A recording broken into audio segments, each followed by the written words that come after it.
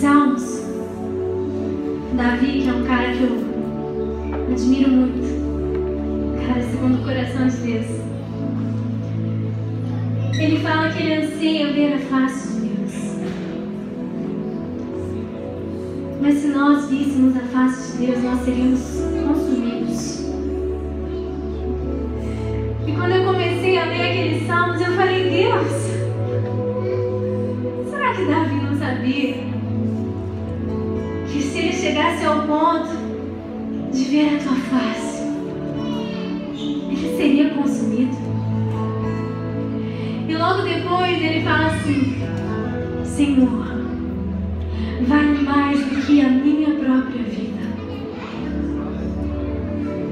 O anseio de Davi era tão grande de estar mais perto de Deus.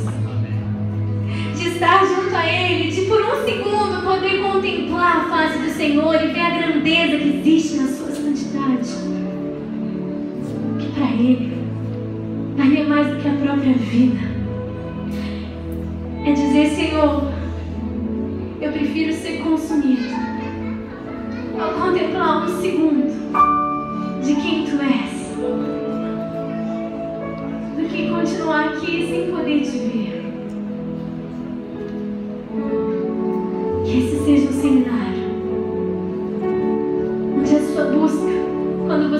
aqui, seja o Espírito Santo. Fala comigo. Espírito Santo, me leva até a sala do trono para que eu possa ver meu Pai.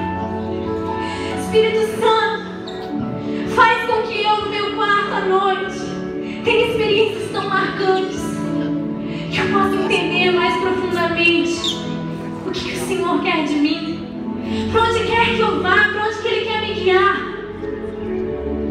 Mas acima de tudo,